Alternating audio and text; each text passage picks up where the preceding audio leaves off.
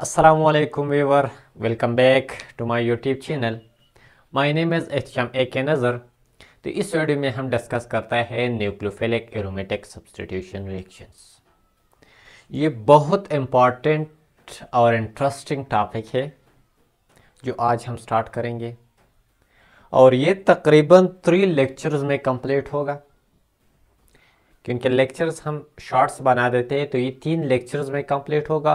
First lectures में, यानी part one में हम स्टडी करेंगे या हम समझेंगे कि न्यूक्लियोफिलिक सब्सटीट्यूशन रिएक्शंस क्या होता है और एरोमेटिक रिंग में या बेंजीन में हमारे पास न्यूक्लियोफिलिक सब्सटीट्यूशन रिएक्शन कैसे पॉसिबल है। तो ये हम आज स्टडी करेंगे इस लेक्चर्स में। फिर हम पार्ट टू में पढ़ेंगे, क्योंकि हम मैकेनिज्म पर ज़्यादा फोकस कर लेते हैं। कि न्यूक्लियोफिलिक एरोमेटिक सब्सटीट्यूशन रिएक्शन का मैकेनिज्म कैसे होगा?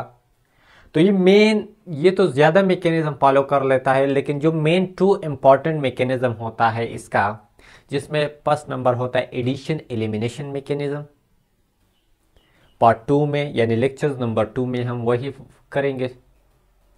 और फिर पार्ट थ्री में लेक्चर नंबर थ्री में हम पढ़ेंगे सिंपल एलिमिनेशन, एडिशन, रिएक्शन, जिसको हम बेंजाइन मैकेनिज्म भी कहते हैं। ठीक है? यानी सिंपल एलिमिनेशन, एडिशन मैकेनिज्म या बेंजाइन मैकेनिज्म, उसको हम पार्ट थ्री में कवर करेंगे। ठीक है? तो ये बहुत इंपॉर्टेंट टॉपिक है। तो चलो स्टार्ट कर लेते हैं कि न्यूक्लियोफिलिक एरोमेटिक सब्सटीट्यूशन रिएक्शंस क्या होता है। तो सिंपल, जब हमने सब्सटीट्यूशन रिएक्शन स्टार्ट किया था तो वहाँ पर हमने ये बताया कि substitution reaction main two main two तरह के होते हैं। एक होता है हमारे पास इलेक्ट्रोफिलिक एरोमेटिक सब्सटीट्यूशन रिएक्शन और दूसरा हमने पढ़ा था न्यूक्लियोफिलिक एरोमेटिक सब्सटीट्यूशन रिएक्शन तो इनका हम एरोमेटिक रिंग में पढ़ते हैं बेंजीन रिंग में पढ़ते हैं। बेंजीन रिंग और इसके जो डिरावेटिव है, उसको हम एरोमेटिक कंपाउंड कहते हैं। और जो सब्सटीट्यूशन रिएक्शन एरोमेटिक कंपाउंड्स में होते हैं, उसको हम एरोमेटिक सब्सटीट्यूशन रिएक्शंस कहते हैं।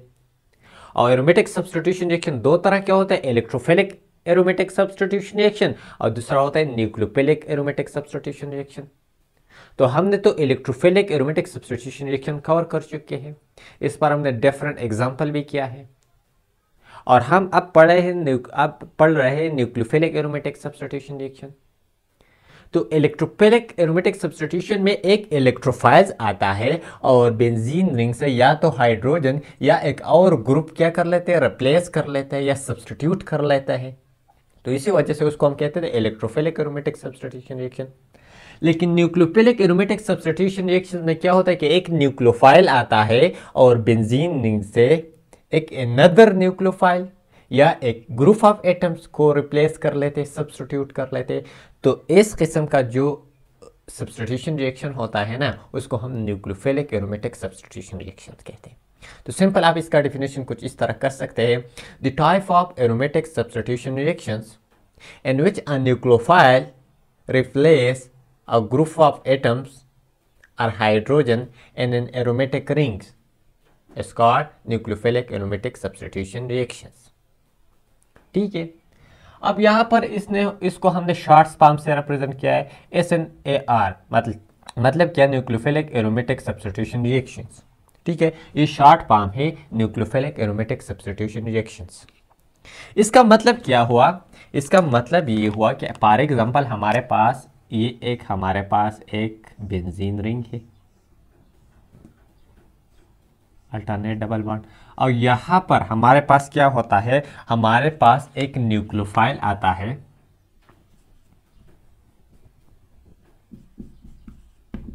और ये अटैक कर लेता है यहाँ पर।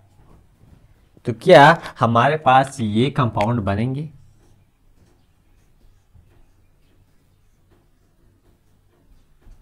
यहाँ पर, यानी यहाँ पर ये हमारे पास क्या हो?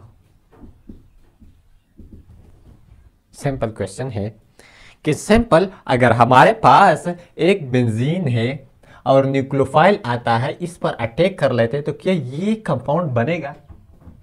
क्वेश्चन है इंपॉर्टेंट तो सिंपल जो नॉर्मल कंडीशन होता है नॉर्मल कंडीशन मतलब low temperature and low pressure simple अगर मैं यहाँ पर करो, अगर नॉर्मल कंडीशन हो। नॉर्मल कंडीशन तो हमारे पास ये प्रोसेस पॉसिबल नहीं है। क्योंकि यहाँ पर आप देख सकते हैं कि यहाँ पर हमारे पास है अल्टरनेट सिंगल डबल बॉन्ड यानी सिंपल हम कह सकते हैं, यहाँ पर पाई इलेक्ट्रॉन है और ये पाई इलेक्ट्रॉन एक्सपोज है। और जिस तरह हमने न्यूक्लियोफाइल में डिस्कस किया था, जिसके साथ पॉजिटिव यानी फाइव इलेक्ट्रॉन्स होता है, वो हमारे पास क्या कर लेता है, या डबल या ट्रिपल बार्ड्स होता है, या हमारे पास एज ए न्यूक्लियोफाइल एक्ट कर लेता है। यानी यहाँ पर इलेक्ट्रॉन ज़्यादा है एक किस्म से। और जब न्यूक्लियोफाइल आते है तो इसके साथ भी इलेक्ट्रॉन ज़्यादा है तो ये इलेक्ट्रॉन और ये इलेक्ट्रॉन एक दूसरे को रिपेल करेगा तो हमारे पास ये कंपाउंड कैसे बनेंगे? ये तो पॉसिबल नहीं है। नॉर्मल कंडीशन में ये रिएक्शन पॉसिबल होगा। सम कंडीशन में।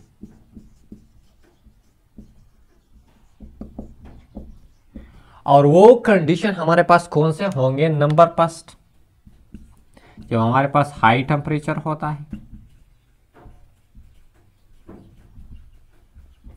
दूसरा हमारे पास होता है हाई प्रेशर्स होता है। इसके अलावा जो मेन सबसे इंपॉर्टेंट होता है इलेक्ट्रॉन विदड्रॉइंग ग्रुप और ये हमारे पास स्ट्रांग होगा। Strong strong electron withdrawing group attach होगा। यानी नॉर्मल कंडीशन में अगर आप कहे, हमारे पास कोई टेम्परेचर नॉर्मल है प्रेशर नॉर्मल है, और कोई हमारे पास इलेक्ट्रॉन विड्राइंग ग्रुप मौजूद नहीं है तो हमारे पास इस हालत में न्यूक्लियोफिलिक एरोमेटिक सब्सटीट्यूशन रिएक्शन बहुत डिफरेंट बहुत डिफ़िकल्ट होता है। ठीक है? तो जब ये तीन कंडीशन होता है, और एक इसके साथ एक फोर कंडीशन होता है, जिसको हम कहते हैं simple good leaving group good leaving group यानी ये चार कंडीशन पर, जब हमारे पास टेम्परेचर भी हाई होता है हाई प्रेशर्स होता है स्ट्रॉन्ग इलेक्ट्रॉन विड्राइंग ग्रुप होता है good sorry strong electron withdrawing group होता है, और इसके साथ गुड लिविंग ग्रुप प्रेजेंट होता है। तो इस कंडीशन में हमारे पास न्यूक्लियोफिलिक एरोमेटिक सब्सटीट्यूशन रिएक्शंस क्या होता है? पॉसिबल होता है। अब ये, जब हम इनशाला पार्ट टू पढ़ेंगे तो पार्ट टू में ये जो, ये टू पॉइंट है। स्ट्रॉन्ग इलेक्ट्रॉन विड्राइंग ग्रुप और third number good leaving group जब हम एडिशन एलिमिनेशन मैकेनिज्म पढ़ेंगे, वहाँ पर ये टू स्टेप बहुत इंपॉर्टेंट होगा। वहाँ पर अगर ये प्रेजेंट होगा तो हमारे पास न्यूक्लियोफिलिक एरोमेटिक सब्सटीट्यूशन रिएक्शन होगा। अगर नहीं तो हमारे पास कोई भी एडिशन एलिमिनेशन मैकेनिज्म या न्यूक्लियोफिलिक सब्सटीट्यूशन रिएक्शन नहीं होगा। पार्ट टू में हम पढ़ेंगे। और पार्ट थ्री जब हम पढ़ेंगे सिंपल एलिमिनेशन एडिशन रिएक्शन वहाँ पर इसकी ज़रूरत नहीं होती। यानी सिंपल अगर मैं ए, एक एग्जांपल ड्रा करो फॉर एग्जांपल मेरे पास एक कंपाउंड है।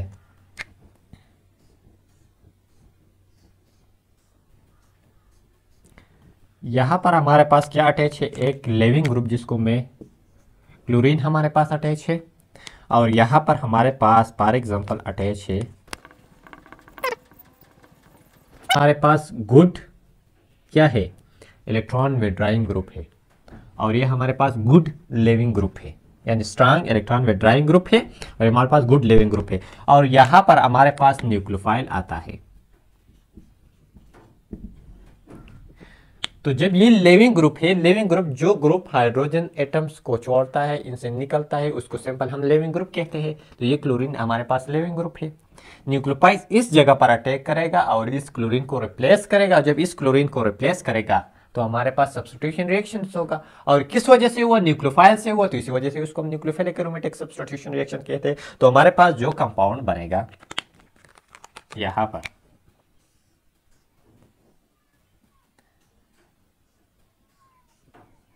हमारे पास यहाँ पर यही न्यूक्लियोफाइल आएगा। और इसके साथ ये NO2 अटैच होगा।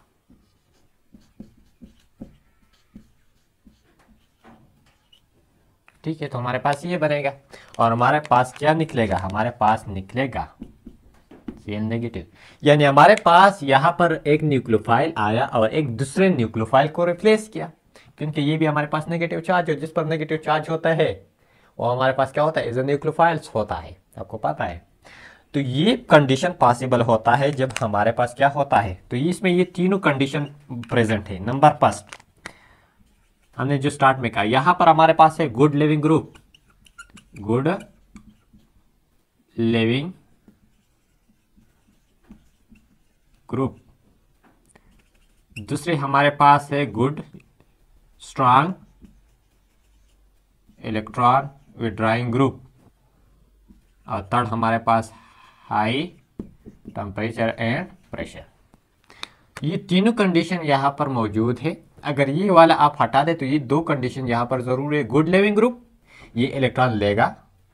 इस तरह ये हमारे पास गुड इलेक्ट्रॉन विड्राइंग ग्रुप है।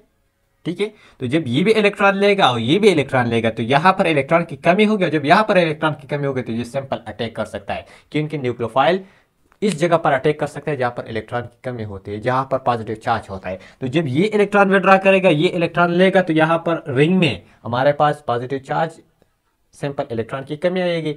और जहाँ पर इलेक्ट्रॉन की कमी कमी आएगी तो न्यूक्लियोफाइल इजिली अटैक करेगा।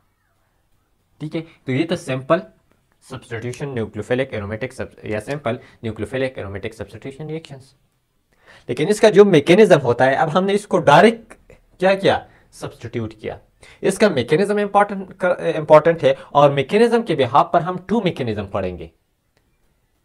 नंबर फ़र्स्ट मैकेनिज्म हम पढ़ेंगे एडिशन एलिमिनेशन मेकेनिज्म और बाद में हम पढ़ेंगे इलिमिनेशन एडिशन रिएक्शन और इसको हम बेंजाइन मैकेनिज्म भी कहते हैं। ठीक है? तो ये था simple nucleophilic aromatic substitution reaction तो जो लोग इस चैनल पर नए चैनल को सब्सक्राइब कीजिए लाइक कीजिए, अपने दोस्तों के साथ ज़रूर शेयर कीजिए, ताकि जो नए आने वाले वीडियो इसका नोटिफिकेशन भी आपको मिल जाए। इसलिए बिल आइकन के बटन को भी प्रेस करें। Thank you for watching